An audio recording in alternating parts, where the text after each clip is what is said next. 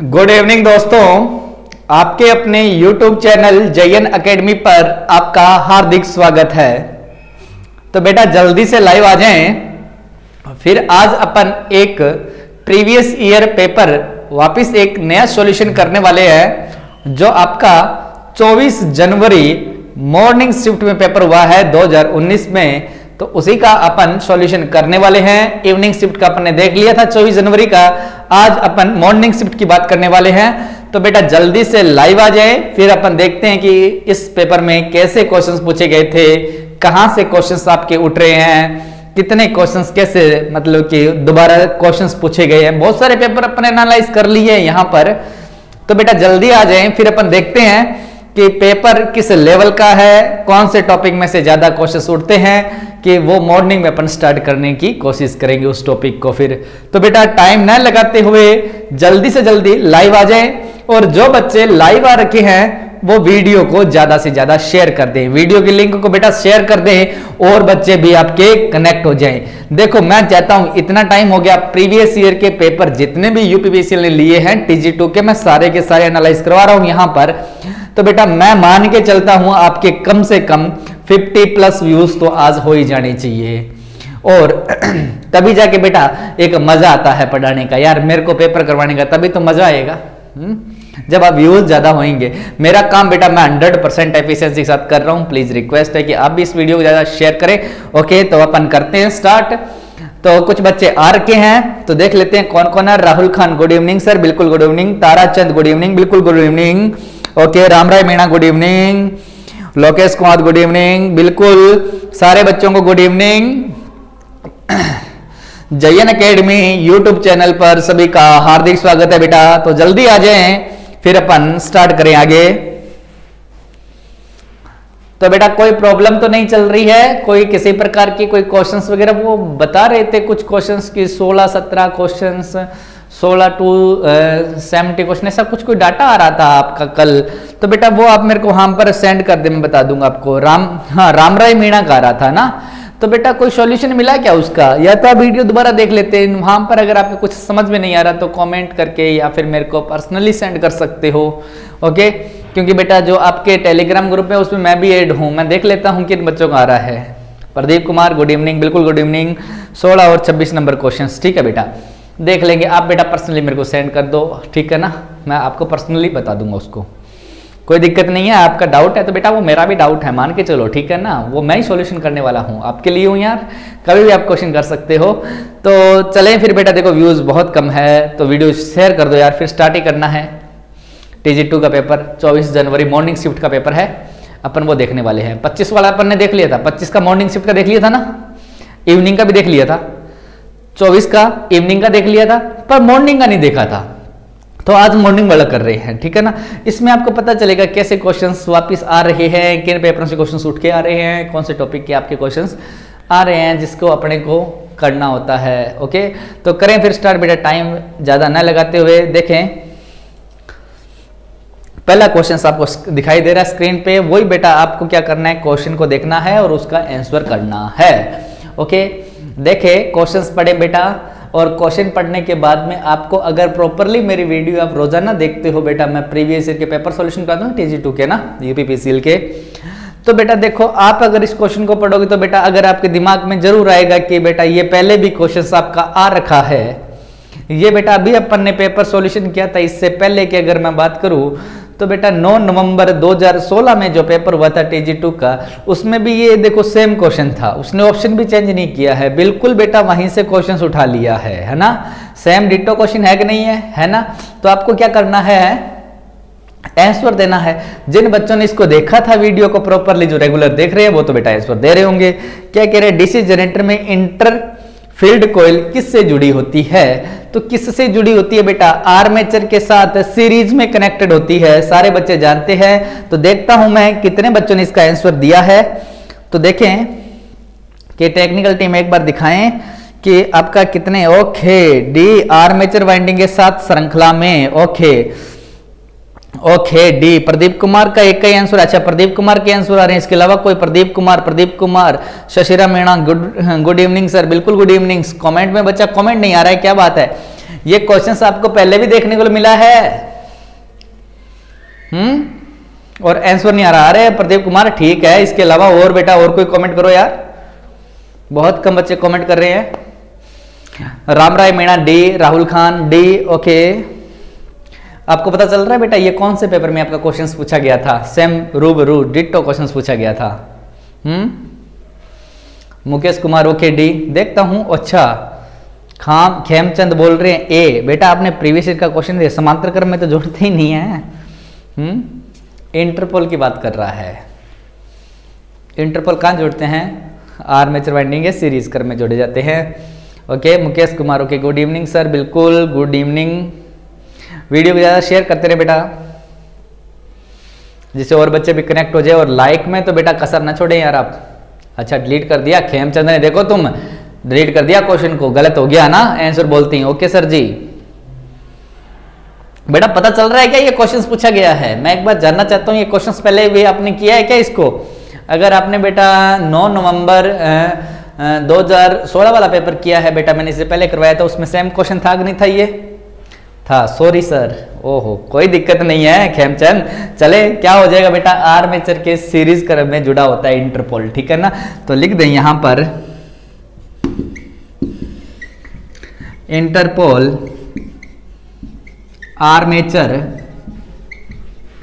Winding के series में जुड़ा होता है। जानते हैं सारे? ऑप्शन हो जाएगा आपका, बिल्कुल बेटा डी है ना? देख लेता हूँ मैं डी है क्या? यही है ना? सारे बच्चे आर्मेचर वाइंडिंग के साथ श्रृंखला में, बिल्कुल बेटा ऑप्शन डी नेक्स्ट क्वेश्चन की बात करें।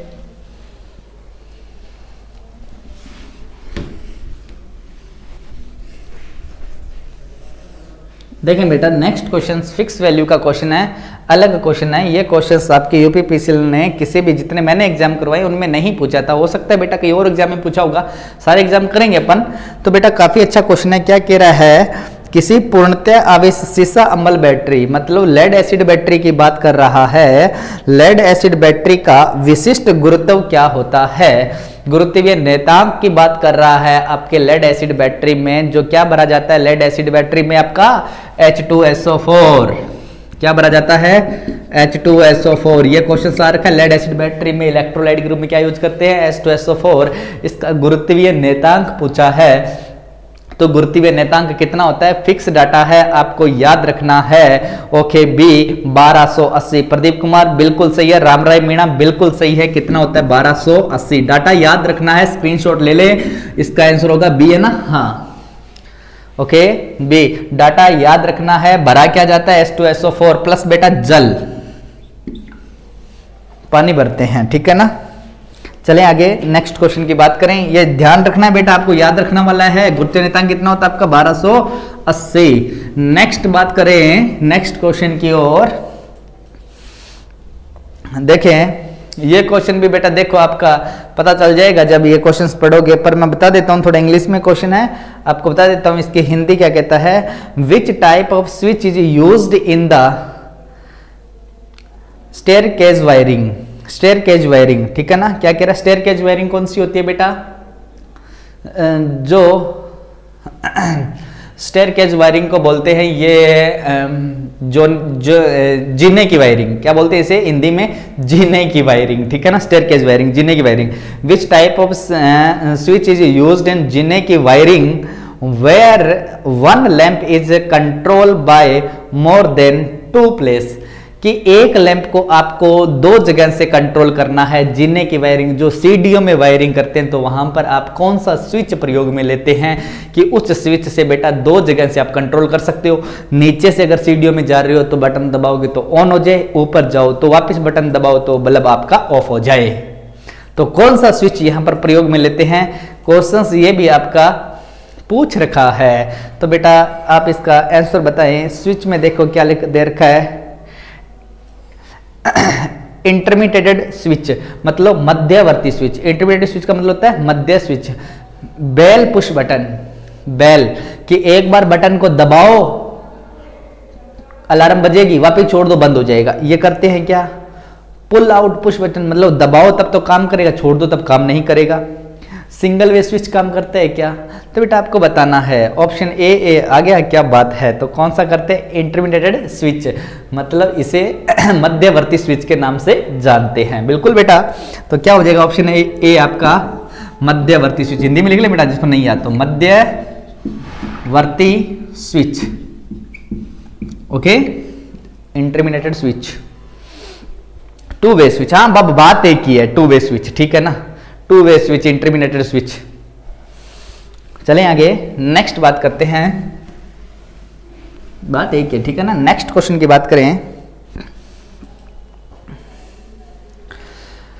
ये बेटा आपका सबसे अच्छा क्वेश्चन है। थोड़ा सा दिमाग लगा के क्वेश्चन का जवाब देना है। क्वेश्चन की हिंदी सुन ले। क्वेश्चन में क्या कह रहा है? एन ए इंसुलेटिंग मटेरियल कोई एक इंसुलेटर मतलब कुचालक कोई पदार्थ है? मटेरियल मतलब कोई पदार्थ है?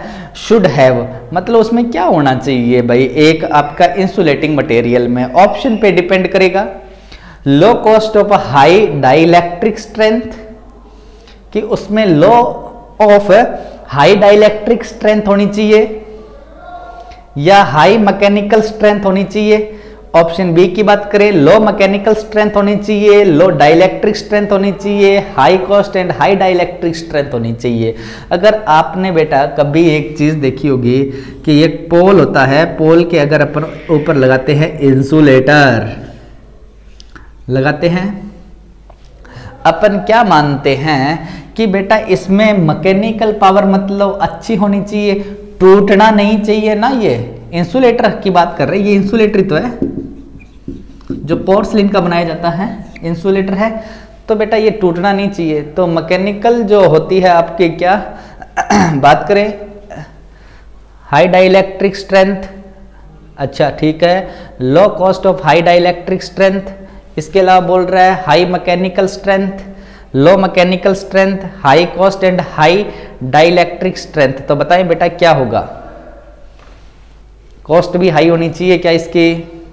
या नहीं होनी चाहिए? तो देखते हैं बेटा एक बार।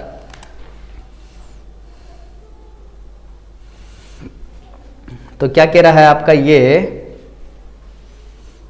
Low cost high dielectric strength low cost high dielectric strength होनी चाहिए लो तो क्या होनी चाहिए कॉस्ट होनी चाहिए उसकी कम खर्चे वाला होना चाहिए और हाई डाइलेक्ट्रिक उसकी स्ट्रेंथ होनी चाहिए और क्या होना चाहिए बेटा? हाई मैकेनिकल स्ट्रेंथ भी उसकी होनी चाहिए ठीक है ना? कॉस्ट लो होनी चाहिए और सब कुछ उसका हाई हाई होना चाहिए हो गया होगा? तो चले आगे नेक्स्ट क्वेश्चन की ओर मूव करते हैं। तो देखिए बेटा, आगे जो आपके पांचवा नंबर क्वेश्चन आ रहा है जो बिल्कुल सिंपल क्वेश्चन है आपका फाइव नंबर क्वेश्चन देखिए, कि भारत में बिजली प्रचालन की आवृत्ति कितनी है? बात करते हैं तो बेटा कितनी है? सारे बच्चे जानते हैं 50 हर्ट्ज है। यूएसए वगैरह की बात करते हैं, कितनी है? 60 हर्ट्ज है। चाइना की बात करो 60 हर्ट्ज है, ठीक है ना? चलें आगे, पाकिस्तान में कितनी है? 50 हर्ट्ज है। ऐसा मत कर देना 40 हर्ट्ज है। तो भारत में कितनी है? 50 हर्ट्ज ओके नेक्स्ट क्वेश्चन की बात करें तो ऑप्शन टिक कर लें 50 हर्ट्ज आगे सिक्स नंबर क्वेश्चन की ओर बात करें। ये क्वेश्चन भी आपके देखो प्रीवियस ईयर पेपर में पूछा हुआ क्वेश्चन है। देखें बेटा, अगर आपने प्रॉपरली मेरे वीडियो देखे हैं तो देखें किसी इलेक्ट्रिक बूस्टर के लिए किस प्रकार के जनरेटर का प्रयोग किया जाता है। बूस्ट करना। कई बार ट्रांसमिशन लाइन में लॉसेस बढ़ने के कारण आपकी वोल्टेज कम हो जाती है। उसको बनाने के लिए आपका बूस्टर प्रयोग किया जाता है। बूस्टर बूस्टर के रूप में बेटा एक जनरेटर काम में लिया जाता है। ठीक है ना? तो बेटा जो आपका लाइन के सीरीज़ जनरेटर सीरीज़ में जोड़ते हैं तो बेटा वो कौन सा जनरेटर काम में लेते हैं? आपको बताना है, कौन सा आपको जनरेटर काम में लेते हैं? दोबारा क्वेश्चंस है सीरीज़ ओके खेमचंद क्या बात है? पहला आंसर सीरीज़ विशाल चौरसिया बोल रहे हैं डी सीरीज़ ओके ओके तो कौन सा लेते हैं बेटा? बिल्कुल आपका वीडियो और सॉरी व्यूज़ और लाइक में बहुत फ़र्क है। लाइक ज़रूर करें और वीडियो को ज़्यादा शेयर करते रहें, क्योंकि बेटा बहुत कम बच्चे हैं जो आपके लाइव में चल रहे हैं। तो बिल्कुल बेटा बूस्टर के रूम में कैसा यूज़ करना है? सीरीज़ जनरेटर ओके ऑप्शन आपका डी राइट दोबारा क्वेश्चन आ रखा है बेटा। देखो, पहले भी पूछा हुआ इन्होंने क्वेश्चन प्रीवियस ईयर के टोटल पेपर क्वेश्चन कर रहे हो ना बेटा? मान के चलो कि आपके 30 40 क्वेश्चन तो वही आ जाएँगे जो आपने कर रखे होंगे। ठीक है ना? तो सारे पेपर करो बेटा। आगे नेक्स्ट क्वेश्चन है आपका सेवन नंबर क्वेश्चन किसी बैटरी को 40 ओम प्रतिरोध से जोड़ा जाता है। कोई बैटरी है? ये बैटरी मान लेते हैं बेटा, ये लो। ये बैटरी है, इसको कितने ओम से जोड़ दिया? 40 ओम से जोड़ दिया। ये लो बेटा 40 ओम से जोड़ दिया। क्या पूछ रहा है? जोड़ा जाता है, यदि इसमें करंट एक एम्पियर फ्लो होती है, इसमें करंट कितनी प्रवाहित हो रही है? One ampere. ये लो बेटा, एक एम्पियर। ओके। तो बैटरी का वोल्टेज क्या होगा? इसकी वैल्यू निकालनी कितनी वोल्टेज की बैटरी है? कमेंट करें बेटा, कितना आंसर आने वाला है इसका? डी। अच्छा सिक्स का डी, राजकुमार, ओके। वीडियो को ज़्यादा ज़्यादा शेयर करते रहे, बेटा, बहुत कम व्यूज़ आ रहे हैं यार। और लाइक भी करते हैं लाइक में भी कमी है। 40 वोल्ट की बी ओके ओके 40 वोल्ट की, ठीक है बेटा, okay okay, Khemchand, Pappu, Kaswa, okay.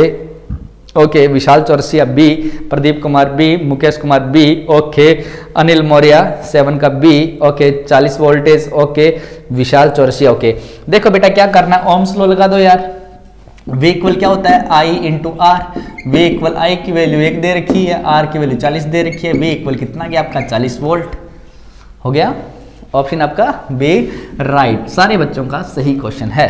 चले आगे। नेक्स्ट क्वेश्चन की बात करें।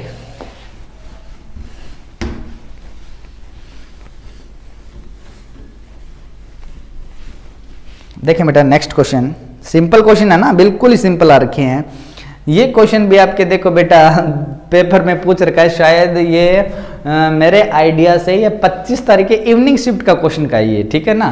डिटो क्वेश्चन है वो उसमें भी आ रखा था। देखो क्वेश्चन क्या कह रहा है? Which type of fire extinguisher इसका मतलब होता है बेटा अग्निशामक यंत्र ठीक है ना?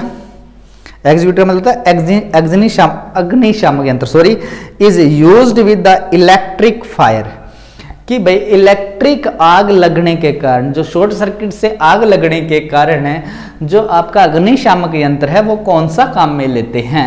मैंने बहुत बार बोला था, बेटा, रट लेना हेलोन वाला काम में लेते हैं। कौन लेते हैं? हेलोन वर्ग ए में आता है, बेटा, ये हेलोन हो गया।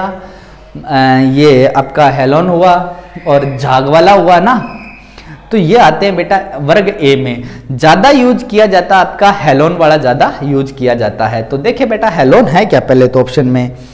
फिर देखते हैं, बिल्कुल बेटा, पहला ऑप्शन ही है हेलोन सीटीएस टाइप का। बिल्कुल हेलोन ठीक है ना तो? इसको तो याद कर लें कि हेलोन वाला आपको यूज़ में लेना है। अगर आपका क्या कर जाए शॉर्ट सर्किट के कारण इलेक्ट्रिसिटी के कारण अगर आग लगती है तो हेलोन वाला आपको अग्निशामक यंत्र काम में लेना है ऑप्शन ए चले आगे नेक्स्ट क्वेश्चन की बात करें। बेटा व्यूज़ बढ़ क्यों नहीं रहे हैं यार? बिल्कुल सत्रह पे आके अटके पड़े हो यार। आगे कोई वीडियो शेयर शेयर करो यार। आगे देखें नेक्स्ट क्वेश्चन ये भी देखो बेटा, आपको लग रहा होगा, कहीं पेपर में पढ़ा कि नहीं पढ़ा आपने? ल्यूमेन प्रति वाट। किसकी इकाई है? ल्यूमेन प्रति वाट। आपको दिमाग में आ रहा होगा कि कोई एफिशिएंसी की अगर मैं बात करूँ दक्षता की अगर मैं बात करूँ तो बेटा फॉर्मूला क्या होता है दक्षता का? आउटपुट शॉर्ट में लिखता हूँ आउटपुट अपॉन इनपुट अगर मैं एक बल्ब की बात कर लेता हूँ बेटा, देखो ये बल्ब है। अगर मैं इसको सप्लाई दे देता हूँ, क्या दे देता हूँ मैं यहाँ पर? इसको सप्लाई दे देता हूँ। सप्लाई दे दी। सप्लाई दोगे तो बेटा आउटपुट अपॉन इनपुट ये हमेशा पावर होती है। जब पावर में लेते हैं डाटा किसमें लेते हैं आपका? एफिशिएंसी में पावर में लेते हैं। लेते हैं नहीं लेते? लेते हैं ना? तो दक्षता निकालनी है अपने को। तो दक्षता निकालनी है। आउटपुट एक लैंप है। लैंप में इलेक्ट्रिकल सप्लाई दे रहे हो। इलेक्ट्रिकल पावर दे रहे हो। तो इलेक्ट्रिकल पावर की यूनिट क्या होती है आपकी? वाट तो इनपुट में क्या दिया अपन ने? वाट आउटपुट में अपने को क्या मिलेगी? रोशनी। रोशनी मिलेगी मतलब ल्यूमिनस फ्लक्स मिलेगा। और ल्यूमिनस फ्लक्स की इकाई क्या होती है? ल्यूमेन क्या होती है? ल्यूमेन तो क्या होगा बेटा? ल्यूमेन प्रति वाट किसकी इकाई होगी? दक्षता की. ओके तो देखिए बेटा लाइट फ्लक्स की. अरे बेकार हो लाइट फ्लक्स की यूनिट क्या होगी? ल्यूमेन होती है.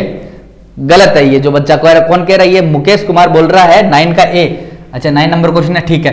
अरे ल्यूमिनस फ्लक्स की कई क्या होती है? ल्यूमेन होती है। याद रखना ल्यूमेन होती है। ऑप्शन ए गलत है जिस बच्चे किया। तीव्र ल्यूमेन एफिशिएंसी ल्यूमिनस एफिशिएंसी की कई होती है, दक्षता की यार। नहीं आता तो यहाँ पर ल्यूमिनस एफिशिएंसी दक्षता को एफिशिएंसी बोलते हैं, ठीक है ना?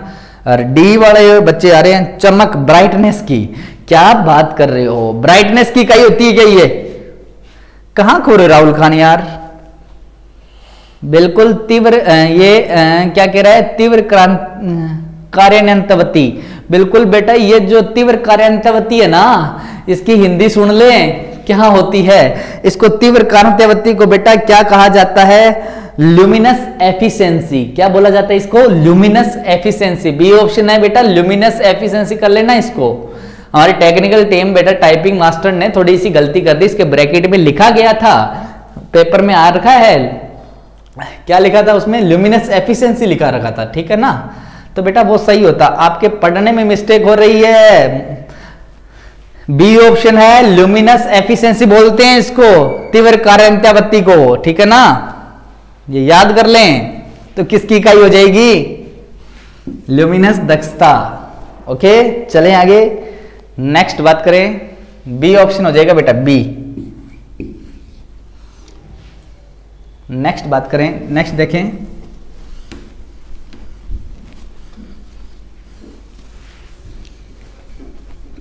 देखें आगे वाला क्वेश्चन बेटा सॉल्व करो आगे वाला क्वेश्चन में क्या बोल रहा है? आगे वाला क्वेश्चन देखो क्या कह रहा है. A V O E V O meter माप सकता है। नाम से ही पता चल रहा है। A V O.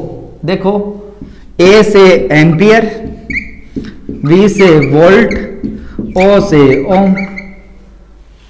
क्या माप सकता है? इन तीनों को माप सकता है? ऑप्शन में ढूंढ लो बेटा, क्या? एम्पियर, वोल्ट और ओम। ए मतलब एम्पियर, वी मतलब वोल्ट, ओ मतलब ओम। तो तीनों को माप सकता है। आई वी आर को। अब तो समझ में आ जाएगा। तो यहाँ पर देखें बेटा करंट बिल्कुल करंट को माप सकता है। वोल्टेज को ईएमएफ कहते हैं इलेक्ट्रोमोटिव फोर्स को, है ना, या वोल्टेज को। ओके और ईएमएफ और प्रतिरोध, बिल्कुल आर ऑप्शन ए ही राइट है, आगे पढ़ने की ज़रूरत ही नहीं है। अच्छा क्वेश्चन था।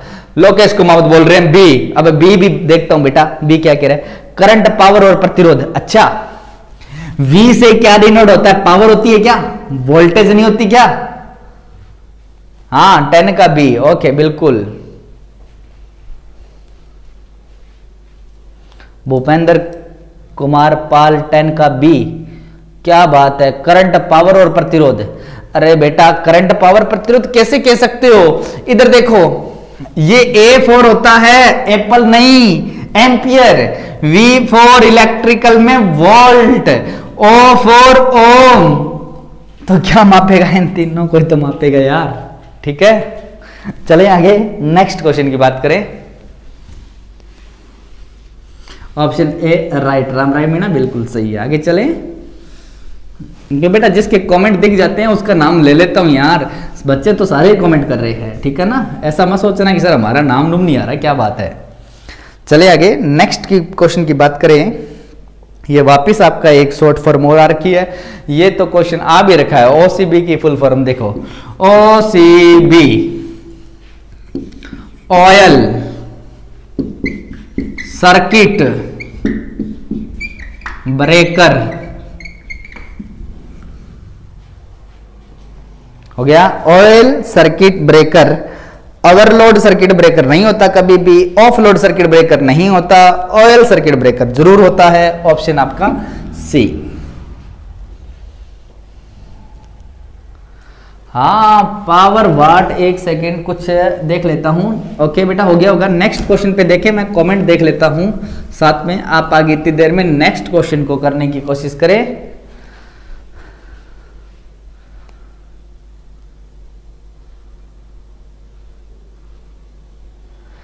पावर को नहीं मापता है। विशाल चौरसिया, बिल्कुल बेटा, उसमें देखो ओ वी पी लिख रखा है ना? हम्म तो पी तो पावर वाट डब्लू दिया होता तो क्या पता वाट माप लेता। वैसे अपन पावर निकाल ज़रूर सकते हैं। उन तीनों से अगर माप रहा है ना तो पावर निकाल ज़रूर सकते हैं। पर बेटा, वो एक्चुअल में आपकी तीन क्वांटिटी ही मेजर करेगा। अपन तो निकाल सकते हैं। अपन तो मल्टीप्लाई करके पावर को निकाल दो पावर के फॉर्मूले अपने को याद रहते हैं। आगे वाला क्वेश्चन देखो बेटा नेक्स्ट क्वेश्चन आपके पास क्या आ रहा है? कितना अच्छा क्वेश्चन है? विच टाइप ऑफ़ मतलब कौन सा टाइप का diode is use in voltage regulator कि कौन सा डायोड आपका वोल्टेज रेगुलेटर की तरह काम करता है? देखो, ये क्वेश्चन भी अपना रिपीट है। पहले पेपर में आया हुआ क्वेश्चन है, बेटा, ये ठीक है ना? इस पेपर में नहीं आया हुआ है, यहाँ तो स्टार्ट ही किया इसको। पहले भी आ रखा है तो कौन सा होता है बेटा? कमेंट करें, कितने बच्चों ने कमेंट किया इसको, इसका? देखो बेटा, जिसमें मैं टाइम पता है किसमें लगा रहा हूँ? जो क्वेश्चंस आपके आ चुका है ना, उसमें मैं टाइम क्यों लगाता हूँ कि बच्चे आप कितना जानते हो, कितना आंसर कर रहे हो? बारहवीं का ए जिनर डायोड बिल्कुल बेटा, अमित कुमार मौर्य, पप्पू कासवा। तो बेटा, याद रखें, देखो तभी मैं बोल रहा था कि शुरू में जब बेटा मैंने यूपीपीसीएल के पेपर सॉल्व करवाने स्टार्ट किए थे ना, तब मैंने आपसे एक चीज़ पूछी थी कि बेटा आपके पेपर कितने क्वेश्चन सही हुए? तो आप बोल रहे थे, बेटा, यही डाटा आ रहा था किसी बच्चे का, सर, हमारे क्वेश्चन 20 सही हो रहे हैं, हमारे 25 सही हो रहे हैं, है ना? कुछ बच्चे बोल रहे थे 40 हो रहे हैं, पैंतालीस हो रहे हैं। तो बेटा, आज जो 20 वाले क्वेश्चन सोल्व करने वाले थे, आज मैं उनसे ये पूछूँ कि, बेटा, अभी तुम्हें पेपर में क्वेश्चन आ रहे हैं कि नहीं आ रहे? हैं आ रहे हैं ना, क्योंकि बेटा, जितने ज़्यादा पेपर करोगे, वही क्वेश्चन तो बेटा देखो, थोड़ा सा घुमा फिरा के क्वेश्चन दोबारा बन जाता है। तो बेटा यहाँ पर प्रॉपरली सारे बच्चों ने आंसर किया होगा, क्योंकि बेटा ऐसा क्वेश्चंस मेरे रेगुलर वीडियो देख रहे हैं तो बेटा ऐसा क्वेश्चन भी आपको करवाने का, करवाया है मैंने, है ना? तो बिल्कुल बेटा ऑप्शन ए राइट आंसर है ससीना मीणा ओके बिल्कुल बेटा, ठीक है, सारे बच्चों का जीनर डायोड होता है। क्या होता है आपका? वोल्टेज रेगुलेटरी तरह काम कौन करता है आपका? जीनर डायोड और सिंपल डायोड की अगर मैं बात करूँ तो बेटा वो एज ए रेक्टिफायर काम करता है, ठीक है ना? तो यहाँ पर आंसर टिक कर ले, जीनर डायोड ऑप्शन ए अब अपन चले जिनर डायोड हो जाएगा आपका? ए ऑप्शन था ना? जिन्नर डायोड ठीक, कर लें। और नॉर्मल डायोड की बात करें रेक्टिफायर की तरह काम करेगा एसी टू डीसी करने के लिए। अब चलते हैं तेरह नंबर क्वेश्चन पे। देखें बेटा, तेरह नंबर क्वेश्चन किसी डीसी जनरेटर का ईएमएफ समीकरण क्या है? बहुत सिंपल क्वेश्चन है। ईएमएफ समीकरण पूछ रहा है जनरेटर की। मोटर की भी बात करें बे की ईएमएफ समीकरण, दोनों की एक जैसी होती है, ठीक है ना? बस याद कर लेना। Five Z N P upon sixty A. क्या होती है? Five Z N P upon sixty A. Okay? अगर बेटा कई बार वो भ्रमित करने के लिए आपको लेप वाइंडिंग की बोल देगा कि लेप वाइंडिंग के लिए, किसके लिए? लेप वाइंडिंग के लिए बोल दे कि देखिए जनरेटर में ईएमएफ इक्वेशन क्या होगी? तो बेटा लेप वाइंडिंग में याद रख लेना, जो ये ए है ना समांतर पदों की संख्या, ये पोलों की संख्या के बराबर हो जाता है। तो यहाँ पर ये ए से क्या करेगा? पी कट जाएगा, वे लेप के लिए और इक्वेशन बन जाएगी five Z N upon sixty okay और वेब के लिए बोल देना। किसके लिए? वेब बाइंडिंग के लिए। और वेब बाइंडिंग में जो ए होता है, समांतर पदों की संख्या होती है, वो दो होती है। तो यहाँ पर इसको ए की वैल्यू दो पुट कर देंगे। तो कितना इक्वेशन आ जाएगी? E B equal five Z N P upon एक सौ बीस। ये दोनों चीज़ें ध्यान में रख लें बेटा।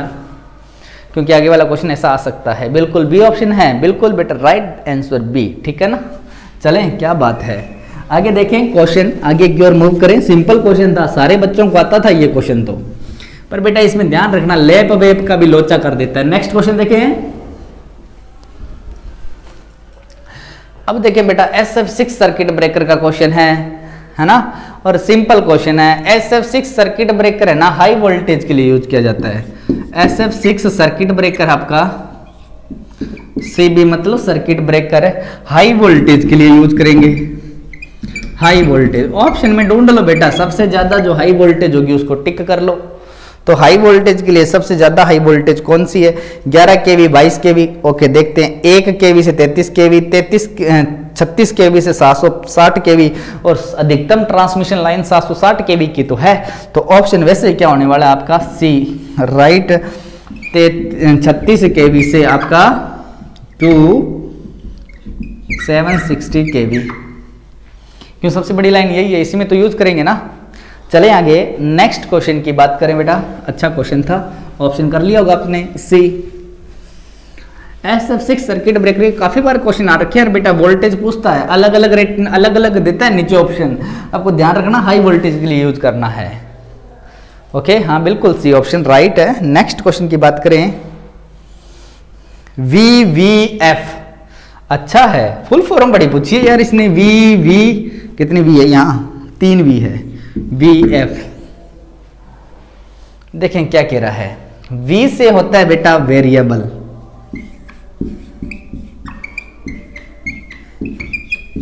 वी से होता है वोल्टेज वापिस वी से बढ़ाएँ तो क्या बनता है आपका वेरिएबल और एफ़ से होता है अपना फ्रीक्वेंसी आवर्ती। तो क्या हो जाएगा बेटा? वेरिएबल वोल्टेज और वेरिएबल फ्रीक्वेंसी परिवर्तनशील वोल्टेज और परिवर्तनशील फ्रीक्वेंसी वी वी एफ़ होता है ओके तो ऑप्शन में टिक करें बेटा, ऐसा कहाँ मिलेगा आपको? पहला ऑप्शन देख लें variable voltage variable voltage variable frequency induction motor drive बिल्कुल बेटा इंडक्शन मोटर ड्राइव में यूज़ करते हैं वी वी एफ़ ओके तो ऑप्शन आपका ए ही राइट है। यही मिल रहा है। इंडक्शन मोटर ड्राइव में यूज़ करते हैं ना। वेरिएबल फ्रीक्वेंसी और वेरिएबल आपका वोल्टेज चलिए आगे। नेक्स्ट क्वेश्चन की बात करें। देखिए बेटा नेक्स्ट क्वेश्चन सत्रह नंबर क्वेश्चन पे चलते हैं। ओके मतलब सोलह नंबर क्वेश्चन आपका मिस हो गया। कोई दिक्कत नहीं है बेटा, अपन कल कर लेंगे सोलह नंबर क्वेश्चन को, ठीक है ना? टेक्निकल टीम से कोई छूट गया होगा बेटा क्वेश्चंस हो जाते हैं मिसिंग गलतियाँ हो जाती है, कोई दिक्कत नहीं है। तो एक ऐसा ट्रांसफार्मर जिसमें कोई हानि नहीं होती है, ऐसा कौन सा ट्रांसफार्मर जिसमें कोई हानि नहीं होती है? भगवान की देन से ऐसा कोई ट्रांसफार्मर बना बना ही नहीं है जिसमें कोई हानि नहीं होती है लॉसेज नहीं होता है। मान के चलते अपन बेटा समझने के लिए आइडियल ट्रांसफार्मर कौन सा? आइडियल ट्रांसफार्मर आदर्श प्रणामित्र। क्या बोलते हैं? आदर्श प्रणामित्र या ट्रांसफार्मर ठीक है ना? हो गया? तो ऑप्शन बेटा आदर्श ट्रांसफॉर्मर में नहीं होगा। ऑप्शन आपका डी नेक्स्ट क्वेश्चन की बात करें। इनके तो आंसर देखने की ज़रूरत नहीं है। मेरे साथ जुड़ने वाले बच्चे सारे आंसर करेंगे। आगे चलते हैं। देखिए, एक ऐसी सर्किट में फॉर्म फैक्टर का मान होता है। एक ऐसी सर्किट में साइनसोडल वेव की बात करें। देखें साइन वेब की अगर मैं बात करता हूँ तो देखते रहे बेटा। साइन वेब की मैं बात करता हूँ साइन वेब ऐसे चलती है। फॉरम फैक्टर का फॉर्मूला आपका एक ही होता है। फॉर्म फैक्टर क्या होता है? अगर मैं वोल्टेज के रिस्पेक्ट में आनू तो V R M S upon voltage का आप एवरेज वैल्यू ले लो। ले लिया। तो बेटा, आपकी साइन वेव की जो आरएमएस वैल्यू होती है, उसका फॉर्मूला आपका क्या होता है? V maximum upon root two average value का फॉर्मूला क्या होता है? साइन वेव में आपका two V maximum upon pi V maximum V maximum cancel ये पाई ऊपर कूद के चला गया तो कितना गया आपका pi by two root two answer आ जाएगा 1.11 डायरेक्ट याद रखना था इसका, ठीक है ना? यूनिट तो होती नहीं है। वोल्टेज वोल्टेज आपकी कैंसिल हो जाएगी करंट के रिस्पेक्ट में निकालो तो ही आपका आंसर ये आने वाला है। आ गया होगा आंसर बिल्कुल 1.11 ओके ओके सी है क्या आंसर ओके सी हाँ बिल्कुल राइट बेटा सी आंसर है। चले आगे नेक्स्ट क्वेश्चन की बात करें। अगर हाफ़ वेब का पूछे तो बेटा ध्यान रखना है। नेक्स्ट क्वेश्चन आप करो, साथ में बेटा मेरी एक बात सुन ले। हाफ़ वेब का पूछे तो एक पॉइंट सत्तावन निकल के आता है। निकाल के देख लेना, ठीक है ना? सेम फार्मूला रहेगा आपका इसका। चले आगे क्वेश्चन देखें। किसी विद्युत बल्ब का फिलामेंट किसका बना होता है? हर बंदा जानता है टंगस्टन का बना होता है यार। ऑलमोस्ट जो है टंगस्टन का बना होगा, ठीक है ना? तो देखें, याद रखें, फिलामेंट जो है ना, फिलामेंट है। अगर आपके पास ऑप्शन में मिले टंगस्टन तो तो करना टंगस्टन। नहीं मिलता टंगस्टन, कई बार आ जाता है कार्बन। तो कार्बन पे टिक करना, कार्बन का फिलामेंट भी होता है, ठीक है ना? अपने एक लैंप पढ़ते हैं। चलें तो यहाँ पर क्या है? ऑप्शन में टंगस्टन है ना? है क्या? एक सेकेंड हाँ टंगस्टन है ना यार? तो टंगस्टन पे टिक करेंगे पहले तो वरीयता इसी को देंगे ऑप्शन डी है ना? बिल्कुल। अगर नहीं होता तो कार्बन पे टिक कराना, ठीक है ना? चलें आगे नेक्स्ट क्वेश्चन लैंप में पढ़ाए हुए हैं ये। मैंने प्रदीप्ति के मॉर्निंग में क्लास चलती है बेटा, वो भी अटेंड किया करो। वाइंडिंग वायरिंग चल रही है वहाँ, ठीक है ना? स्थायी चुंबक बनाने के लिए किसके के लिए उपयोगी सामग्री है? अच्छा क्वेश्चन है कि भाई विद्युत चुंबक बन सॉरी स्थायी चुंबक परमानेंट मैग्नेट बनाना है अपने को। तो अपन कौन सा लेंगे? तो बेटा कार्बन इस्पात लेते हैं कोबाल्ट लेते हैं निकल लेते हैं, नरम लोहा लेते हैं। बताओ कौन सा लेते हैं? अगर आपने मोटर वगैरह पड़ी है इस्पात का मतलब होता है स्टील। तो ज़्यादा जो बेटा अपन यूज़ में लेते हैं हाँ बिल्कुल बिल्कुल। क्या बात है व्यूज़ और लाइक में फ़र्क है व्यूज़ भी बहुत कम है। पप्पू बोल रहे हैं, डी, नरम लोहा। बेटा, नरम लोहा तो लेते हैं, पर ध्यान रखना, ज़्यादा जो यूज़ में लेते हैं ना, आपके दिमाग में थोड़ा एक आया होगा यार, आइडिया नहीं आया क्या? आइडिया नहीं आया इसको देख के। प्रदीप कुमार बोल रहे हैं ए, है ना? और बोल रहे हैं डी, कोई बोल रहा है ए, कोई बोल रहे डी। सस्पेंस में दिक्कत तो यही आ रही है कि ए टिक करके आएँगे डी टिक करके आएँगे मैं समझाता हूँ, सुने एक बार, ठीक है ना? बेटा, बात तो आपकी भी सही है कि परमानेंट मैग्नेट बनना है तो नरम लोहा भी काम में लेते हैं, और कार्बन इस्पात भी काम में लेते हैं। कार्बन इस्पात का मतलब जानते हो क्या? हाँ? कि बेटा, जब आप क्या कर रहे हो जो ये जितने भी मोटर वगैरह अपन बनाते हैं, इसकी कोर कोर बनाते हैं, सिलिकॉन स्टील की बनाते हैं ना, वो इस्पात का मतलब स्टील है। उसमें कार्बन या सिलिकॉन की मात्रा डाली जाती है। उसमें सिलिकॉन या मात्रा आपकी डाली जाती है। अरे, कुछ कह रहे हैं, बी, कोबाल्ट। ऐसे तो बेटा देखो, एक चीज़ सारों से बना सकते हैं अपन। एल निको निक, है ना, एल्यूमिनियम निकल कोबाल्ट आता है ना। तो बेटा जो अपन ज़्यादातर जो आपकी कोर यूज़ की जाती है, वो की जाती है किसकी? सिलिकॉन स्टील की। या तो उसमें सिलिकॉन की मात्रा मिला दो, या फिर अपन क्या करो, थोड़ी कार्बन की मात्रा मिला दो, है ना? तो ज़्यादातर मटेरियल आपका यही यूज़ किया जाता है, नहीं किया जाता? किया जाता है ना? क्यों? क्योंकि उसमें चुंबकीय फ्लक्स आपका ज़्यादा से ज़्यादा रन कर सके। इसीलिए ना, है?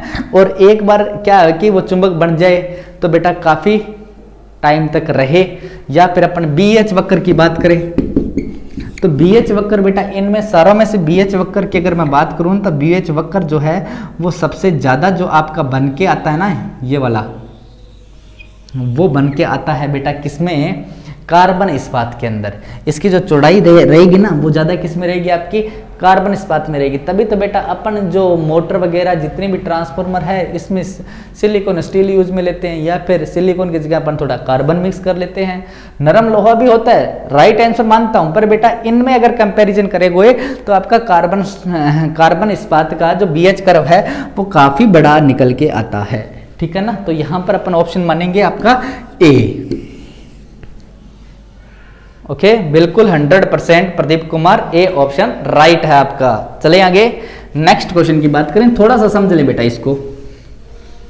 कि इसको बी एच कर्व से देखें ना तो बेटा आपका ए राइट आंसर है। वैसे बेटा तो आपका सही है डी बी आंसर सही है, ठीक है ना? दोनों में कंपैरिजन करना ज़रूरी था। चले आगे। नेक्स्ट क्वेश्चन की बात करें, किसी प्रत्यावर्ती मतलब अल्टरनेटर को उत्तेजित मतलब आपको एक्साइटेशन करना है तो कौन से जनरेटर का काम में लेते हैं? तो ऐसे जनरेटर का काम में लेते हैं जिसका वोल्टेज एक नियत रहता है। वोल्टेज एक क्या रहे? नियत रहे। तो बेटा उसको नियत वोल्टेज किसका रहता है? आपका शंट जनरेटर का। और ध्यान रखना बूस्टर की बात कर ले। किसकी? बूस्टर की। तो बेटा याद रखना सीरीज़ जनरेटर ये दोनों अच्छे अच्छे क्वेश्चन है। अल्टरनेटर के एक्साइटेशन के लिए शंट जनरेटर और बूस्टर के लिए आपका सीरीज़ जनरेटर। ओके? तो बेटा, यहाँ पर कौन सा जनरेटर यूज़ करेंगे? शंट जनरेटर यूज़ करेंगे। अगर अपने पास ऑप्शन में मिलता है तो देखते हैं एक बार ऑप्शन में है क्या शंट जनरेटर पहले तो। ओके, बिल्कुल बेटा, ऑप्शन सी है ना, शंट जनरेटर। चले आगे, नेक्स्ट क्वेश्चन की बात करें 22 नंबर क्वेश्चन की।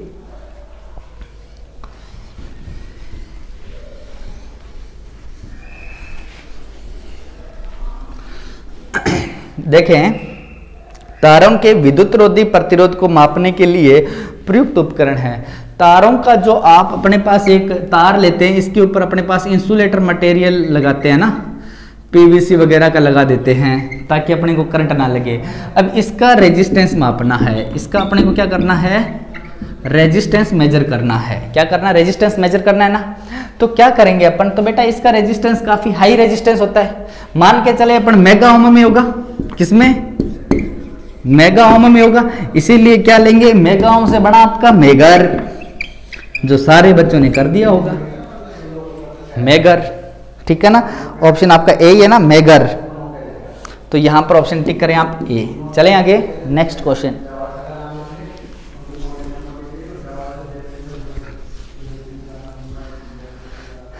काफ़ी अच्छा क्वेश्चन है। किसी इलेक्ट्रॉन को, एक सेकेंड क्वेश्चन क्या कह रहा है? ट्वेंटी थ्री नंबर हाँ। किसी इलेक्ट्रॉन पर प्रवाह होता है।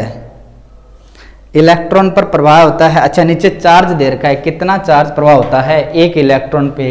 तो आपको याद रखना एक इलेक्ट्रॉन पे कितना होता है? डाटा रटने वाला था। One one minus one point six into ten की पावर माइनस नाइनटीन कुलम देख लो बेटा, कहाँ मिल रहा है। तो 1.62 अरे तो पॉजिटिव का है तो हाँ बेटा, इसको पूरा लिखो तो 0.2 भी होता है, ठीक है ना? तो माइनस इलेक्ट्रॉन पे हमेशा माइनस चार्ज होता है तो ऑप्शन आपका क्या हो जाएगा? सी क्योंकि बेटा, और तो आपके 1.6 वाला कोई डाटा मैच ही नहीं कर रहा है। नीचे वाला कर रहा है, पर वो पॉजिटिव में आ रहा है। ए ए एक सेकेंड एक सेकेंड अच्छा अच्छा। पहले वाले की है क्या क्वेश्चन हाँ ठीक है बेटा ट्वेंटी वो आप ट्वेंटी के आंसर दे रहे थे। ओके बेटा, चले आगे।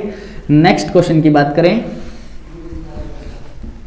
नेक्स्ट क्वेश्चन की बात करें 24 नंबर क्वेश्चन की, दो ट्रांसफॉर्मर को आपको पैरेलल में चलाना है तो क्या क्या आपका समान होना चाहिए? पहले भी क्वेश्चंस बेटा मैंने करवाया था अल्टरनेटर को चला, चलाया था शायद, है ना? और आज अपने पास ट्रांसफॉर्मर को पैरेलल में चला रहा है तो क्या होना चाहिए आपके पास? फ़ेज़ सीक्वेंस देखो बेटा, याद करो यार इस क्वेश्चन को तो देखो सारों में क्या होता है? सिंपल क्वेश्चन है, पहले क्या रखना चाहिए? फ़ेज़ सीक्वेंस समान हो जाए ओके दूसरी चीज़ क्या? फ्रीक्वेंसी समान हो जाए। और क्या? कोई कमेंट करें बेटा? और क्या क्या हो सकता है? ठीक है ना? और क्या क्या हो सकता है? फ़ेज़ सीक्वेंस आपका आवर्ती समान होना चाहिए। वोल्टेज फ़ेज़ सीक्वेंस समान होना चाहिए। यही होना चाहिए ना? तो देखें बेटा, अब ऑप्शन ए कह रहा है, गति और भार बराबर होना चाहिए। ये कोई ज़रूरी नहीं है। गति और भार स्पीड तो होती नहीं है बेचारी। गति, उत्तेजन वोल्टेज समान होना चाहिए। एक्साइटेशन तो करते ही नहीं है वैसे भी। आवर्ती वोल्टेज और एक सेकंड बेटा, दो ट्रांसफार्मर के तुल्यकालिकता के लिए निम्न में से कौन सी प्रमुख शर्त है? बेटा क्वेश्चंस पूरा नहीं पढ़ा मैंने सॉरी क्वेश्चंस पूरा पढ़ लेते हैं कि देखा नहीं बेटा मैंने, यहाँ पर देखा ट्रांसफार्मर को आपको पहले में चलाना था कहीं, ऐसा क्वेश्चन था। दो ट्रांसफार्मर की तुल्यकालिकता के लिए निम्न में से कौन से प्रमुख शर्तें हैं? ये भी बेटा पहले की बात कर रहे हैं, ठीक है ना? ओके तो बेटा क्या हो जाएगा? आवर्ती समान होनी चाहिए, आपका फ़ेज़ सीक्वेंस समान होना चाहिए और अनुक्रम समान होना चाहिए ना? फ़ेज़ सीक्वेंस समान होना चाहिए। तो ऑप्शन बिल्कुल बेटा आपका सी राइट है। देखा नहीं बेटा? क्वेश्चंस पूरा पढ़ लिया करो यार। जैसे मैंने क्वेश्चन पूरा नहीं पढ़ा, और कॉन्फिडेंस था कि हाँ प्रॉपरली क्वेश्चन ये पूछा हुआ कि दो ट्रांसफॉर्मर है तो पहले भी चला रहा होगा। चलें आगे। नेक्स्ट क्वेश्चन की बात करें। देखें, काफ़ी अच्छा क्वेश्चन है। सतह पर वह नलिका वाली वायरिंग में, वायरिंग वायरिंग के मामले में दो सडलों के बीच में अधिकतम दूरी कम से कम होनी चाहिए। जो बेटा आप कंड्यूट वायरिंग यूज़ करते हो ना, कंड्यूट वायरिंग, उनमें आप सडल यूज़ करते हो तो वो कितनी दूरी पर कम से कम सडल आपकी होनी चाहिए, आपको बतानी है। जैसे आप ये एक कंड्यूट यूज़ कर रहे हो इसमें जो सडल लगा रहे हो, मैंने माना कि यहाँ पर अपन एक सडल लगाई है तो दूसरी जो सडल लगा रहे हो, उनके बीच में कम से कम दूरी कितनी होनी चाहिए? साठ सेंटीमीटर होनी चाहिए। ठीक है ना? तो ऑप्शन देख लें बेटा, साठ सेंटीमीटर। ऑप्शन आपका बी ऑप्शन चलें आगे नेक्स्ट क्वेश्चन की बात करें। नेक्स्ट क्वेश्चन देखिए बेटा। डीसी जनरेटर के लिए डीसी डीसी जनरेटर के किस सिद्धांत पर काम करता है? तो फेराडे का नाम आ गया बेटा, ठीक है ना? फेराडे के बगैर तो दुनिया हिलती नहीं है ना? इलेक्ट्रिकल हिलती नहीं है? दुनिया तो क्या? तो बेटा क्या गया? फेराडे के विद्युत चुंबकीय प्रेरणा सिद्धांत पे काम करेगा। सारे बच्चे जानते हैं। ये तो अपने इलेक्ट्रिकल का दादा है यार। चलें आगे। नेक्स्ट क्वेश्चन की बात करें। निम्न में से कौन सा सबसे कुशल और बड़ी उपयोगी अवमंदन डंपिंग प्रणाली है? डंपिंग का मतलब सुन लेना बेटा पहले तो कि आपका ये तो होता है, अगर मैं डंपिंग की बात करूँ, है ना? मापन यंत्र में तो बेटा ये होता है आपका स्केल। स्केल पे आपकी लगी होती है एक निडल। निडल मतलब आपकी सुई। ये सुई लगी हुई है। ये सुई पर बेटा इधर जो टोरक लगेगा, यहाँ ज़ीरो और यहाँ मानना बेटा कुछ भी आपका डाटा है, पाँच एम्पियर करंट एमीटर मानो, कुछ भी मानो ना।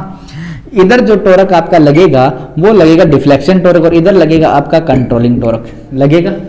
तो बेटा एक ही पॉइंटर पर दो टॉरक लग रहे हैं तो बेटा पॉइंटर क्या करेगा आपका डंपिंग करेगा। क्या करेगा आपका? डंपिंग करेगा, हिलता रहेगा। इसको अगर हिलता रहेगा तो बेटा अपने को पता नहीं चलेगा रीडिंग क्या रही है ना?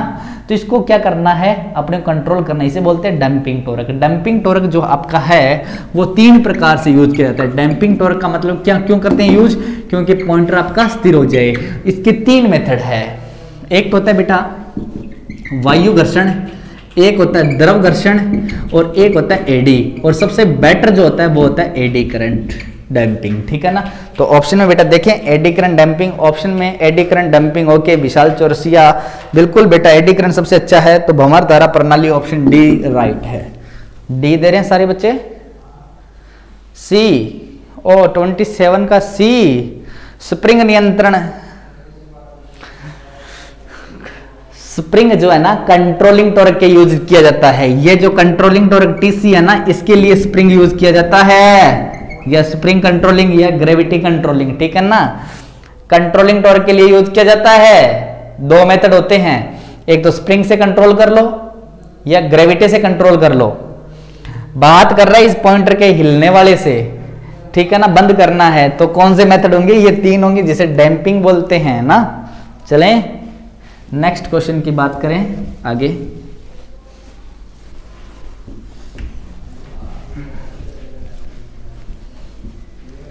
आगे देखें बेटा। प्रकाश व्यवस्था के उपकरण वाले टर्मिनल बनाने के लिए किस सामग्री का प्रयोग किया जाता है? स्विच सॉकेट आदि में। अच्छा स्विच सॉकेट में प्रकाश व्यवस्था उपकरण वाले टर्मिनलों में। टर्मिनल बनाने के लिए किस धातु का अपना प्रयोग करेंगे? ऑप्शन में देखें, पीतल, सोना प्लेटिनम चांदी। यहाँ से भी तो ऑप्शन पता चल जाता है बेटा, पीतल का यूज़ करते हैं। ऑप्शन क्या हो जाएगा? आपका ए सिंपल है। चलें आगे नेक्स्ट क्वेश्चन की बात करें। एक सेकंड, क्या आ रहा है? अंकित। अखिल कासवा। अंकित, क्या बोल रहे बेटा? ओके चले आगे। नेक्स्ट हाँ बिल्कुल, ए। नेक्स्ट क्वेश्चन की बात करें बेटा। 29 नंबर क्वेश्चन की। 29 नंबर क्वेश्चन देखें। देखिए बेटा, ये क्वेश्चंस बहुत बार रिपीट हो रखे हैं, ऐसे क्वेश्चंस देखो। आपकी डीसी मोटर के बारे में क्वेश्चन पूछा हुआ ऐसा है। ट्रांसफॉर्मर में क्वेश्चंस ये डिटो पूछा हुआ है। जनरेटर में क्वेश्चन पूछा हुआ है। वापिस जनरेटर में क्वेश्चन आ गया कि अधिकतम दक्षता के लिए क्या शर्त होनी चाहिए? तो अधिकतम दक्षता के लिए बेटा ट्रांसफॉर्मर में यही क्वेश्चन आ रखा है कि अधिकतम दक्षता के लिए ट्रांसफॉर्मर में क्या शर्त होनी चाहिए? जानते हैं अपन कि तांबर हानिया, तांबर मतलब कॉपर हानिया। बराबर क्या हो जाए आपकी? लोहा हानिया। क्या बन जाएगा आपका? लोहा हानिया। क्या हो जाएगी आपकी मैक्सिमम एफिशिएंसी की शर्त है? जानते हैं? तो बेटा टिक कर लो यार। ये क्वेश्चन तो काफ़ी अच्छा क्वेश्चन है। परिवर्तित आनिया एक सेकंड और। बेटा इसमें जो आपका परिवर्तित आनिया एक सेकंड जो आपकी बेटा तांबर आनिया है ना, ये बेटा लोड के साथ परिवर्तन होती रहती है तो इसे बोलते हैं परिवर्तन आनिया ये थोड़ा नोट कर लें, जिस बच्चे को पता नहीं है, ये होती है परिवर्तन हानिया। ये बेटा बदलती नहीं है लोड वोड के साथ में। तो ये होती है स्थिर हानियाँ स्थिर हानियाँ। ये थोड़ा ध्यान रखें बेटा, बात एक ही इनकी, ठीक है ना? तो अब अब आंसर टिक कर सकते हो, परिवर्तन हानियाँ बराबर क्या हो जाए? स्थिर हानियाँ। तो बेटा यहाँ पर ऑप्शन कह रहा है, परिवर्तित हानियाँ स्थिर हानियों से कम हो, ना बराबर होनी चाहिए। परिवर्तन हानियाँ स्थिर हानियों से ज़्यादा हो, बराबर करना यार। परिवर्तित हानियाँ तंबर हानियाँ से ज़्यादा हो, अरे बराबर करना है। परिवर्तित हानियाँ स्थिर हानियाँ के बराबर हो, बिल्कुल बेटा बराबर होनी चाहिए ऑप्शन डी चलें आगे। नेक्स्ट बिल्कुल सही है। ये क्वेश्चन बहुत बार आ रखा है बेटा, बेस घुमा देता है। कभी ट्रांसफार्मर के रिलेट करके पूछ लेता है मोटर से रिलेट करके पूछ लेता है जनरेटर से रिलेट करके पूछ लेता है। देखें कि किसी पावर ट्रांसफार्मर में टेपिंग स्विच जोड़ा जाता है। टेपिंग हमेशा सेकेंडरी वाइंडिंग से आएगी। टेपिंग हमेशा आपकी सेकेंडरी वाइंडिंग से आएगी। ये याद रख लेना टेपिंग हमेशा सेकेंडरी वाइंडिंग से। नीचे करके लिख देता हूँ बेटा टैपिंग हमेशा सेकेंडरी वाइंडिंग से निकालेंगे। भले एच टी एल टी कुछ भी हो आपका, ठीक है ना? चले आगे तो सेकेंडरी वाइंडिंग ऑप्शन आपका ए नेक्स्ट क्वेश्चन की बात करें। ये कुछ क्वेश्चन तो फिक्स है बेटा, ठीक है ना? जिनको आपको ध्यान में रखना है टैपिंग हमेशा सेकेंडरी वाइंडिंग से। कैसा भी क्वेश्चन आ जाए। चले आगे नेक्स्ट क्वेश्चन की बात करें। इकतीस नंबर क्वेश्चन की न्यूमेरिकल क्वेश्चन अपने पास किसी विद्युत परिपथ में 50 ओम वाला प्रतिरोध ओके किसी विद्युत परिपथ है जिसमें आर की वैल्यू अपने पास कितनी देर की है? 50 ओम दे रखी है। प्रतिरोध में वोल्टेज देर का है बेटा कितना? 200 वोल्टेज देर का है। में संबंधित है उस परिपथ में प्रवाहित होने वाली धारा का मान ज्ञात करें। यार, कितना सिंपल क्वेश्चन दे दिया। ओम स्लो लगा दो बेटा। क्या हो जाएगा आपका? ओम स्लो के अकॉर्डिंग क्या आई निकालना आई इक्वल क्या हो जाएगा? वी अपॉन आर वी की वैल्यू 50 बराबर चार एम्पियर आंसर है क्या? ए ही ऑप्शन हो रहा है। चलें आगे नेक्स्ट क्वेश्चन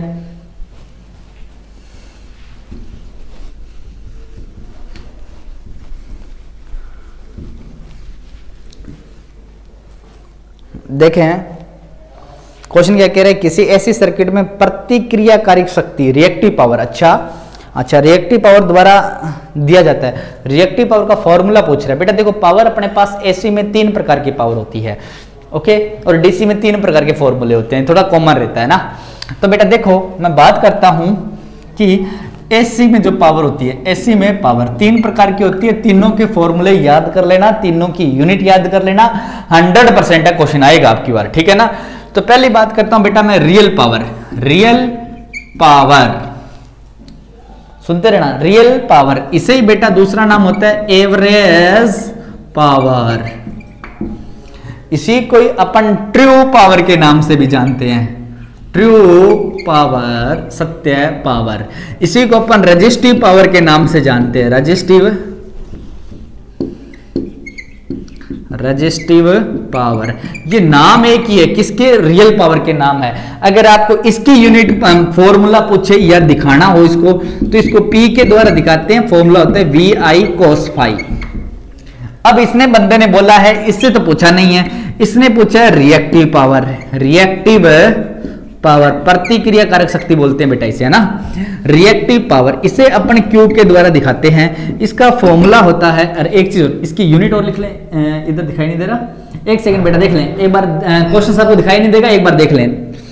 कि आपको देखो रियल पावर पूछे एवरेज पावर पूछे ट्रू पावर पूछे रजिस्टिव पावर पूछे, ये एक ही बात है रियल पावर की बात कर रहा है। जिसका फॉर्मूला होता है P equal V I cos five unit होती है आपकी वॉट क्या यूनिट होती है आपकी? वॉट अगर अपने रिएक्टिव पावर की बात कर ले, या बेटा किलो वाट वाट ठीक है ना? अगर हम रिएक्टिव पावर की बात कर ले प्रतिक्रिया कारक शक्ति की बात कर रहा है क्यू से दिखाते हैं, इसका फॉर्मूला होता है वी आई साइन फाइव इसकी यूनिट होती है के K V A R kilo volt ampere resistance ठीक है ना? एक होती है बेटा आपके एपरेंट पावर आभासी शक्ति एपरेंट पावर और एपरेंट पावर को बेटा अपन एस के द्वारा दिखाते हैं फॉर्मूला होता है वी आई का कॉन्जुगेट ठीक है ना? यूनिट होती है वोल्ट एम्पियर ये बेटा थोड़ा ध्यान में रख लें यार, यहाँ से क्वेश्चन हंड्रेड परसेंट आएगा। तो आपसे रिएक्टिव पावर का फॉर्मूला पूछा था तो वी आई कोस फाइव ये हो जाएगा? निकाल लोगे? अब करना क्या यूनिट क्या याद रखना इसकी? के वी आर कई बार क्वेश्चन में पूछ लेता है। बेटा स्क्रीनशॉट ले लो पहले, फिर मैं क्वेश्चन दोबारा दिखा दूँगा आपको। ले लिया? अब क्वेश्चन देखें बेटा, अब आंसर करें इसका।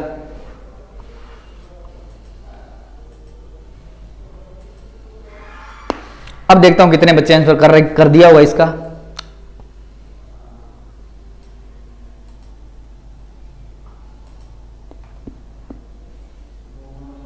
हाँ बिल्कुल बिल्कुल। बोर्ड के साइड अच्छा बोर्ड की साइड अच्छा ठीक है ठीक है ठीक है ठीक है बेटा। मैंने क्वेश्चन हटा दिया यार, बिल्कुल बिल्कुल। ठीक है बेटा स्क्रीनशॉट ले लिया। ओके अब चलते हैं अपन आगे। अब इस, आप आंसर भी दे दिया होगा इसका। क्या आंसर आने वाला है?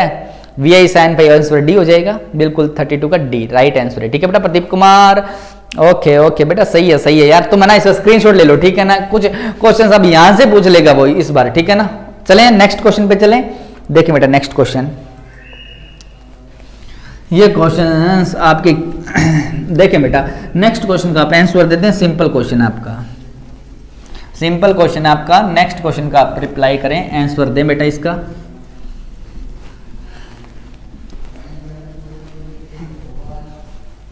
देखें नेक्स्ट क्वेश्चन क्या कह रहा है? Kilo volt hour energy meter होता है kilo volt hour K W H ना?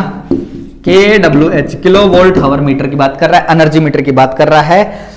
अच्छा ब्रैकेट में एनर्जी मीटर दे भी रखा है एन कैसा होता है? डिफ्लेक्शन टाइप होता है क्या?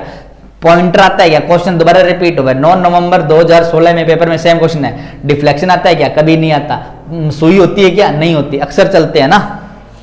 इंडिकेटिंग टाइप इंडिकेटिंग टाइप थोड़ा ना होता है कि बेटा सुई से दिखा दिया, सब पाँच एम्पियर वाट आ रही है या फिर पाँच किलो वाट आ रही है, वापस बेटा वो ज़ीरो हो गया सप्लाई बंद होती है। तो ऐसा नहीं होता। इंडिकेटिंग टाइप नहीं होता। इंट्रोग्रेटिंग टाइप होता। है डाटा को लंबे टाइम तक आपका स्टोर करके रखता है। बिल्कुल आपका C option right integrating type होता है। ठीक है ना? हिंदी में बोले बेटा, हिंदी में लिख लें। समाकलन टाइप ठीक है ना? इंट्रोग्रेटिंग बोलते हैं स्मार्कलन टाइप ओके नेक्स्ट क्वेश्चन की बात करें। ये क्वेश्चन भी आपके देखो, ड्रम स्विच वाला 25 तारीख को आ रखा है शायद ये क्वेश्चन। चले आगे नेक्स्ट क्वेश्चन की बात करें। देखिए नेक्स्ट क्वेश्चन क्या कह रहे ड्रम स्विच का प्रयोग किया जाता है। ड्रम स्विच, बेटा, मैंने आपको पहले बताया था, मैंने कहा यहाँ पर बहुत सारी लड़ियाँ होती है, सजावटी, जो लड़ियाँ होती है ना, प्रकाश व्यवस्था होती है, सजावटी है ना।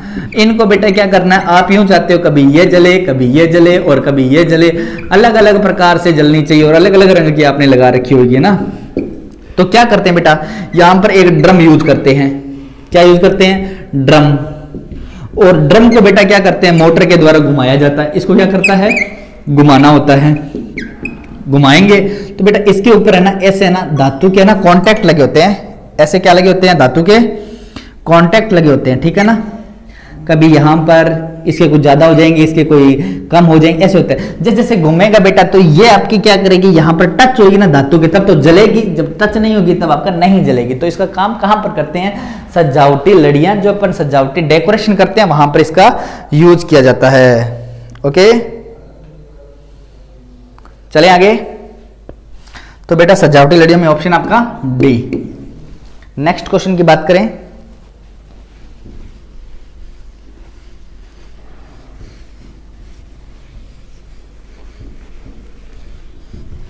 नेक्स्ट क्वेश्चन देखें। आपका fifty thirty five number question किसी ट्रांसफार्मर में सफशन ब्रीथर का प्रयोग किया जाता है? किसके लिए ब्रिथर का प्रयोग किया जाता है? ब्रिथर होता है बेटा आपका ये ट्रांसफार्मर होता है, यहाँ पर आपका एक ब्रिथर मैंने यहाँ पर जोड़ दिया वैसे ब्रिथर यहाँ नहीं होता ब्रिथर लगा होता है जस्ट यहाँ पर। आपका ब्रिथर लगा होता है, जिसमें आप क्या भरते हो? सिलिका जेल भरते हो। क्या भरते हो?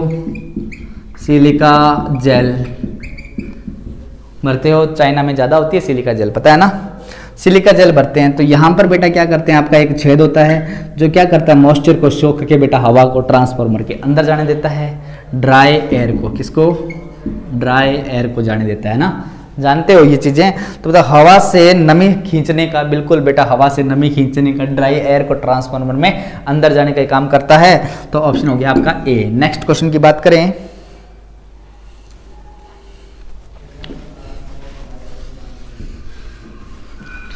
ये क्वेश्चन चले हाँ बिल्कुल बेटा नेक्स्ट क्वेश्चन की बात करें।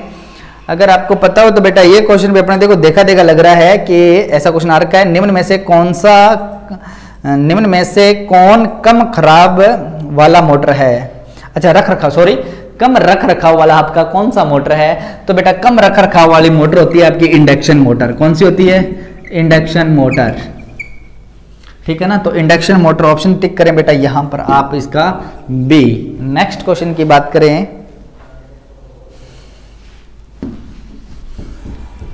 नेक्स्ट क्वेश्चन की बात करें। देखें बेटा नेक्स्ट क्वेश्चन क्या कह रहा है? प्रतिरोध प्रतिरोध क्षमता एसआई यूनिट होती है। अरे रेजिस्टेंस की यूनिट पूछ रहा है। रेजिस्टेंस की यूनिट क्या होती है? ओ क्या होती है आपकी? ओम, सारे बच्चे जानते हैं ना? ऑप्शन डी नेक्स्ट क्वेश्चन की बात करें।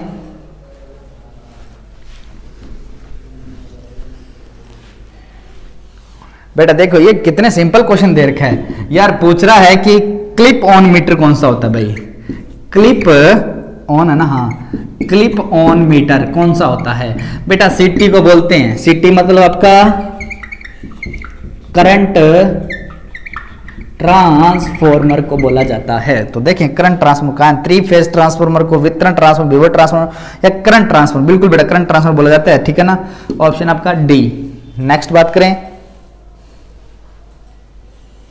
नेक्स्ट क्वेश्चन बेटा, मैं चाहता हूँ, काफ़ी अच्छा क्वेश्चन है। कभी मैंने ये क्वेश्चन ऐसा क्वेश्चन कभी देखा नहीं है। आपके लिए क्वेश्चन है ये। आप बताओगे बेटा। इसका आंसर एलटी और एचटी लाइनों में काम करने वाले इलेक्ट्रीशियन के पास में क्या होना ज़रूरी है? आपने आईटीआई कर रखी है तो बताओ बेटा क्या होना ज़रूरी है?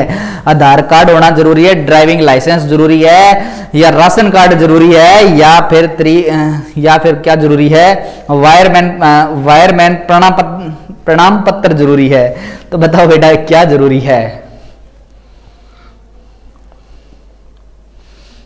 नेक्स्ट क्वेश्चन की बात करें बेटा। हाँ थर्टी नाइन की बताओ यार थर्टी नाइन थर्टी एट क्या हुआ बेटा? क्वेश्चन नंबर लिख के छोड़ दिया आपने। भूपेंद्र कुमार पाल रा, पाल हाँ सॉरी विशाल चौरसिया ए ए ए ए। अब बेटा बता दें आपको थोड़ा सा आधार कार्ड आपकी आइडेंटिटी प्रूफ होता है ड्राइविंग लाइसेंस बेटा आपको यह बताता है कि आप गाड़ी चलाने वाले हो राशन कार्ड से बेटा राशन मिलता है। ठीक है ना? और वायर मैन प्रणाम पत्थर से बेटा आप काम कर सकते हो। ओके, बिल्कुल। चले आगे, बिल्कुल राइट आंसर ए आंसर क्या हो जाएगा आपका? ए नेक्स्ट क्वेश्चन की बात करते हैं बेटा 40 नंबर क्वेश्चन की। कल भी क्वेश्चन बेटा मैंने ये करवाया था, अगर आपने कल किसी क्लास अटेंड की तो देखो। ये क्वेश्चन आपका देखो बेटा नेक्स्ट क्वेश्चंस ये क्वेश्चन मैंने बेटा करवा भी रखा है आपको। और काफ़ी अच्छा क्वेश्चन है। कल भी बेटा इसके बारे में डिस्कस किया था किसी पावर वायरिंग प्रणाली में तांबे वाले कंडक्टर में अधिकतम आकार आपका कितना होना चाहिए? कॉपर की बात कर रहा है तो आपका आकार बेटा घर में जो आप वायरिंग कर रहे हो तो कॉपर के आकार की वायरिंग कर रहे हो कॉपर की वायर यूज़ कर रहे हो तो उसका आकार कितना होना चाहिए? कल बेटा मैंने बहुत बताया था कि 1.5 पॉइंट mm होना ज़रूरी है। 1.5 mm होना बहुत ज़रूरी है। ओके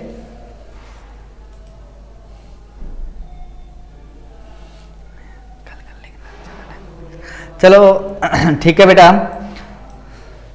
तो आज के लिए बस इतना ही बेटा। 40 क्वेश्चन डिस्कस किए हैं। बाकी जो अपने बच गए, कितने क्वेश्चन बच गए अभी?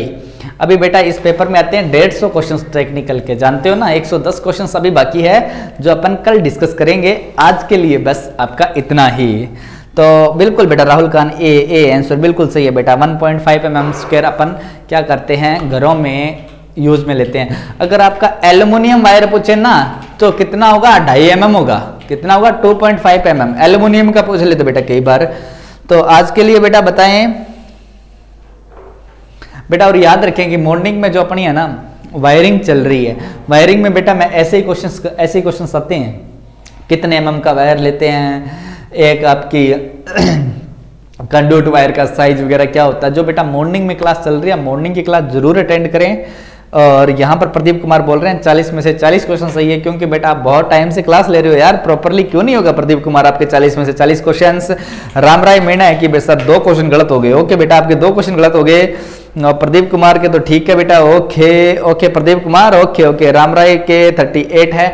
बिल्कुल बेटा देखो ग्रोथ बढ़ती जाएगी। जब प्रीवियस ईयर के क्वेश्चंस करते रहेंगे ना तो कुछ डाटा मैं यहाँ पर डिस्कस कर लेता हूँ कि जिनमें क्वेश्चंस आने की संभावना रहती है ना। अगर वो आपको याद हो जाता है तो बेटा अगले वाले क्वेश्चंस वहीं से तो बनते हैं, कोई बाहर से तो कुछ आने से रहे यार। ओके हाँ ठीक है ठीक है. चंदन प्रसाद बोल रहे हैं. चालीस क्वेश्चन सही है. क्या बात है? चलो, अच्छी बात है बेटा. आपके क्वेश्चन सारे सही होते रहे. आप हमारे टेलीग्राम ग्रुप को ज्वाइन कर लें. वहाँ पर आपको ये पीडीएफ आपको मिल जाएगी. चलो बेटा, ठीक है. आज के लिए बस इतना ही. कल मिलते हैं दस बजे. Bye bye good night